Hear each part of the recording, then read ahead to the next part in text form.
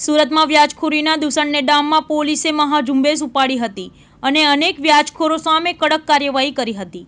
પરંતુ હજુ પણ અમુક લોકો સામે કાર્યવાહી કરવામાં આવી નથી.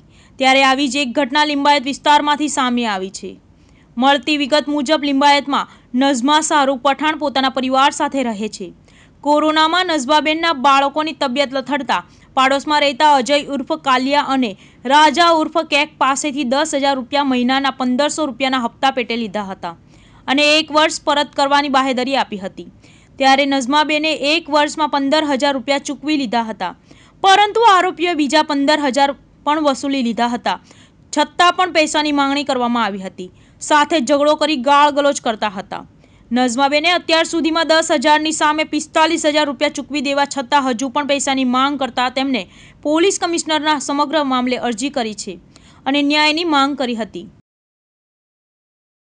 मेरा नाम रफ़ीक मोहम्मद शेख है भाई कहाँ पे रहने का सूरत लिम्बायत मीठी गाड़ी क्या बना आपके साथ किस तरह मेरे साथ में भाई मेरे बहन भाई ने दस हज़ार रुपये ब्याज से लिए था पंद्रह सौ रुपये महीना बोलते थे तो अभी बीच में मेरी नानी की डेट हो गई थी तो अभी एक डेढ़ महीने तक का उसको बोले रुकने का तो घर पे आके मारम जोड़ी करके गए उन लोग ने। क्यों मारा? ये ब्याज के पैसे की वजह से। ब्याज कब लिया था और क्यों लिया था? कारण क्या था? काम था घर में। कितने टाइम से पुलिस स्टेशन में कौन से पुलिस स्टेशन में लिम्बायत क्या बोला?